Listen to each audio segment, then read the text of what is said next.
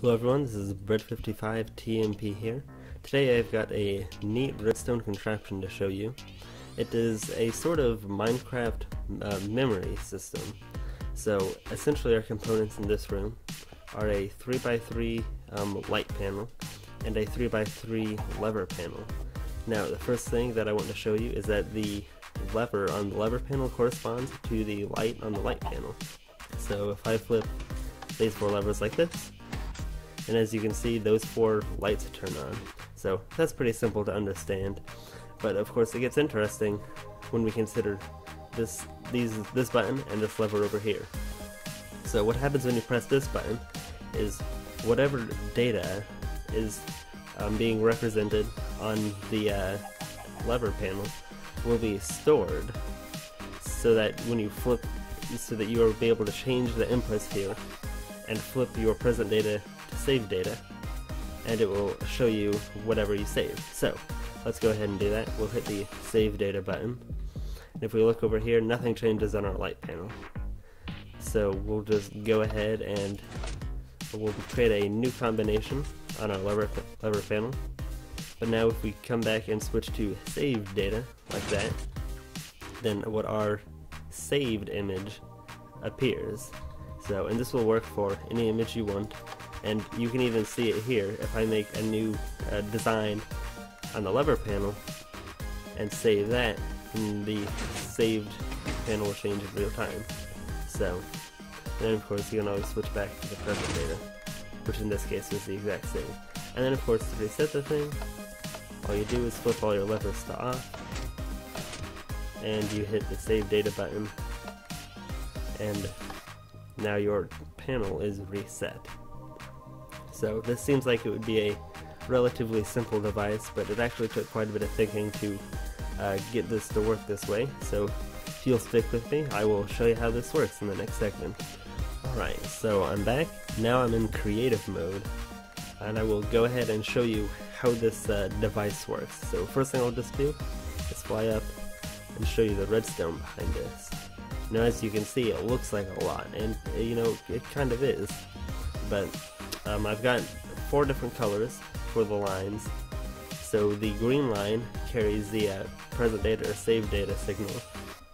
The yellow line carries your um, save save data command. The blue lines carry your uh, inputs from the lever panel, and the red lines are the outputs to the lamps. So essentially, though, all we had is nine of these memory uh, units. So essentially, you have one of these for each panel, and I have specifically designed these to do exactly what we see here. So um, these these are really the star of the show. Everything else is just hooking up connections and making sure, you know, our our uh, LED or excuse me, our redstone signals will travel far enough to get to our um, display. That is. So uh, in the next segment, I'll go ahead and show you how one of these works. Alright, so here I have one of these memory modules. I uh, just sabotaged it, put in some of my own levers and buttons so that we could um, change what the inputs are ourselves. So essentially, the star of the show is this piece. And what happens is this signal will come in through here from the uh, lever panel and come up here and one of the, th the places it will go is through this block to that repeater. And so essentially, we have one repeater here that uh, this is the save command. And so what that would do is it will push this block up, enabling the signal to come down here to this system. And what that will do is it will charge this redstone, which will come around and power this block, and it will recharge this redstone. So essentially, that's just like doing this.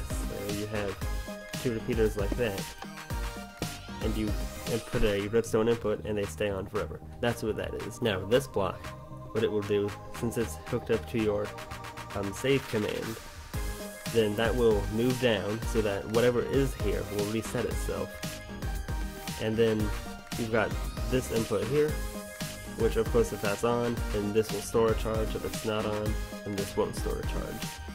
And then the uh, final part of how this memory unit works is the um, present data or save data. So in this case, let's say we have our lever flipped on, like so.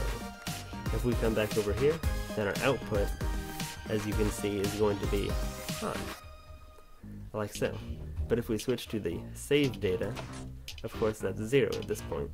So what ends up happening is that the um, the pistons push the block out of the way, so the present data can't put its information in, and the save data is, and of course that's putting it a zero, so there's no output going to the um, to the display. So anyways, I hope that has uh, covered some of the basics of how this thing works.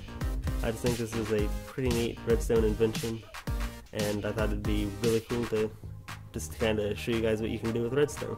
So um, if any of you have any questions or want to know more about this or anything like that, then uh, feel free to leave them in the comments. Thank you so much for watching, and I'll see you in the next video.